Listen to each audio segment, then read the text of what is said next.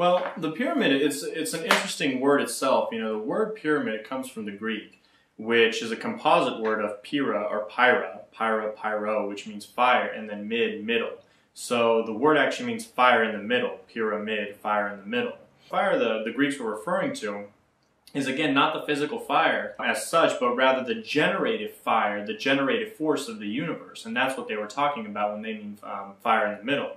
Now, what's interesting is the Masonic symbol, you know, where you have the compass and the square interlacing, which is actually coincidentally makes the Star of David too, just it's missing the little top pieces if you notice. There's the G in the middle. A lot of people think that means geometry or God, and it doesn't. It actually means generation. A lot of Masonic scholars have, have, have indicated that answer many times, which I guess generation in, in the most abstract sense could mean God if you, you know, if you defined it as such. But again, it means the same generation that the, the Greeks used to describe the word pyramid. And it was the, they referred to this generative force of the universe, you know, this kind of like general pranic force, if you want, this pranic energy, or uh, the very life force that creates the universe, but not necessarily life, but just the universe in general, the planets, matter, stars, galaxies, you know, this kind of life giving substance which is never seen, but it's really responsible for all things living.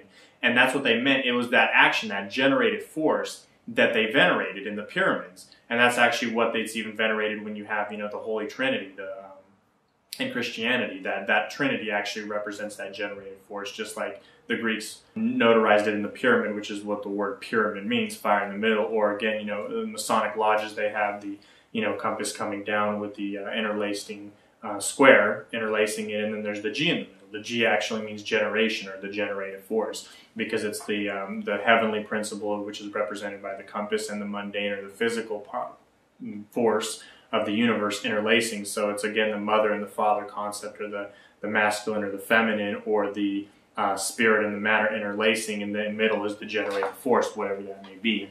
So it's kind of an interesting tidbit on the, the etymology really of the word pyramid. What's interesting though is when we you know we fast forward to Egypt, a lot of people aren't familiar with the fact that pyra- the pyramids in Egypt actually come in two different categories. The, the pyramids in, in Egypt, there's there's several hundreds of them. Most of them were actually built in the in the dynasties that people talk about, you know, ranging from around 2000 BC to 5000 BC, a lot of the pyramids. But the three major pyramids, the pyramids of Giza, the three major uh, pyramids of Giza, were actually constructed much, much longer before the several hundred pyramids that you find lying really across the plateau of the Nile and, and of the Giza Strip. And what's interesting is, and this is actually a fact that's never mentioned, is there's never been a pharaoh discovered in a pyramid. So that whole, you know, that whole theory where they say that they were built for tombs for kings or the pharaohs is is null because there's never been, never once has there been a pharaoh discovered in any pyramids. It's always been discovered around 80 miles south of where the pyramids are in a place called the Valley of the Kings, which you know a lot of these these mummies were found in these type of catacomb uh, chambers, sarcophaguses, really underneath the ground. Uh, they were kind of like catacombs, if you will. And what's interesting about that then is then the question is, well, what were the pyramids for? And then why were there two different really uh, eons of pyramid builders in what today is considered modern Egypt? Um, of course, the most interesting one is the really, you know, not so much the, the hundreds of littler ones that are around that region, but the three major ones of the Giza Strip. The magnitude of those pyramids are something that modern day engineers can't replicate, even on a smaller scale, a 1 to 60 scale. Not to mention, you know, those blocks are, you know, 60 tons in some cases, and the precision of them is something almost modern computers can't, you know, uh, to mimic. So, you know, to try to uh, justify those kinds of structures with modern or even you know archaic building, but even modern building is ludicrous because you know so many people have proven that that, that simply can't be true. You know, without deriving too much from the from the subject matter, that's kind of the uh, ball of pyramids. Well, you know, it's not necessarily what the pyramid itself is made out of, but rather the structure, and it, and it, and it goes back to the the etymology of the word the pyramid because if you look at what the pyramid is, it kind of it stems a little bit even from what we were talking about in numerology, and that is that the, the pinnacle of the pyramid is really, if you abstract again, the, the pinnacle of the pyramid is really the point of singularity between this side, the physical world, and the ether, you know, or the or the akashic side of things, and that's kind of like a symbolic point, and that's why they always use like um, a, a very high well conductor to basically extract energy from one side of the universe, which was the you know the invisible spiritual side, and then to later allocate it down evenly inside things which were inside the pyramid. And that's why you can see you know the pyramids like we talked about in Giza. There's no way that could have been a tomb because it made no sense for it to be a tomb. It could have been a battery. Could have been a maybe uh, some kind of a transportation device. Could have been maybe some kind of a mode or means of communicating with the other side. You know the spiritual side, some kind of an amplifier for that. But by no stretch of the imagination could it have been a